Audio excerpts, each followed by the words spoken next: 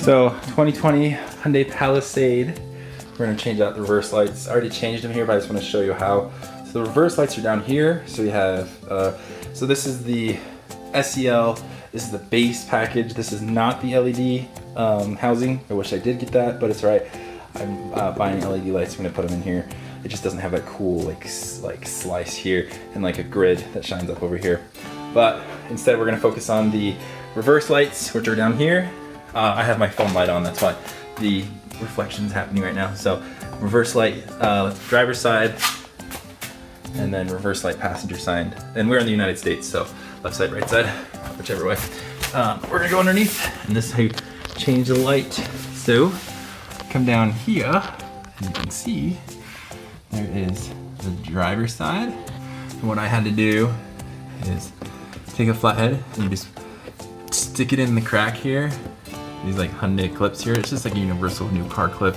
You just rotate it and it pops out a little bit and you just pull it the whole thing out.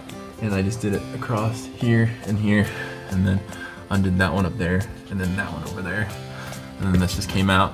And I have fat hands and fat arms and I was able to pull it out a little bit out of the way and get up in there. And then over here, come to this side. Ooh, exhaust powerful. Here's the exhaust side. And then there it is. Right there. That guy. And then we just unscrew it and then it pops out. And I did notice that the wire was really difficult and really short. So if you look, we're gonna try. You see like there's a plastic gap right there, like those two hangers. So the wire is wrapped around that to prevent it from falling and hanging down like that, probably to help with vibrations. I just went ahead and un unhooked it. You can hook it back up afterwards, but it made it so it was so much easier.